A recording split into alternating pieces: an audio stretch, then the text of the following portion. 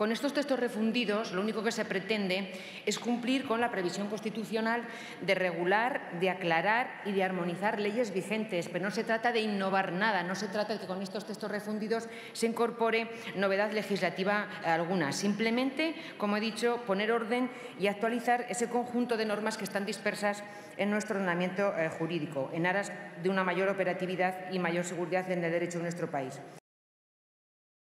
El proyecto que ahora debatimos tiene por objeto refundir parcialmente mm, leyes que han sido reformadas parcialmente para aportar mayor claridad y esa seguridad jurídica y también para facilitar el marco legal en el que han de moverse los ciudadanos en ámbitos tan importantes como puede ser el mercado de valores, empresas de trabajo temporal, seguridad social, estatutos de trabajadores y empleado público, prevención de riesgos laborales, la ocupación o el suelo.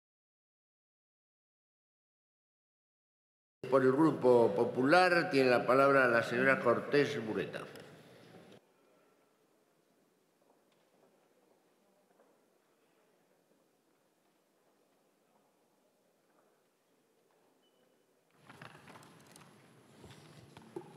Gracias, señor presidente.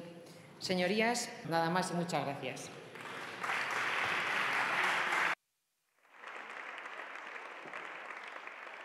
Muchas gracias, señora Cortés.